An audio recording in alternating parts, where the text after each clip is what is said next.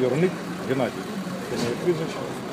Я представник е, громадських релігійних громадських організацій, яка займає, які займаються профілактикою і реабілітацією е, наркозалежних і проводять профілактику серед молоді. По-перше, це мирна акція. Ми, себе вважаємо себе послушними громадянами України.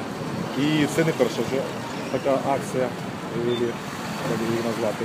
Вона направлена на те, щоб е, в нашій державі було е, упорядочена продажа препаратів, які мають е, в собі е, кодеїну і кодеїну содержащі. Тобто на сьогоднішній день є препарати, які продаються по строгій звітності, є препарати, які продаються не особо строго, так би сказати. І там любому бажаючому не продавалося на руки е, е, препарати, які мають наркотичний е, ефект.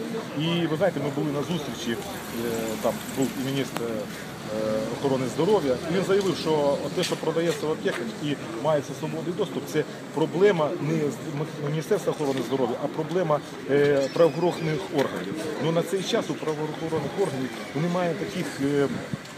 якби рычагів е, управління і е, повномочі, щоб контролювати, тому що сам же це Міністерство охорони здоров'я не хоче його перевести в строгу відповідальність. Тобто там який-то штраф, ну, яка то і, пожалуйста, торгуй.